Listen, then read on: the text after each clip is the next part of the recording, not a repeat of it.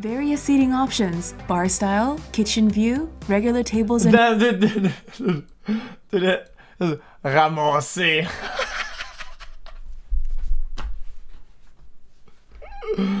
chairs. Also, views outside with natural light flooding in. So what is poutine? It's french fries with cheese curd and a brown gravy. Totally new for me.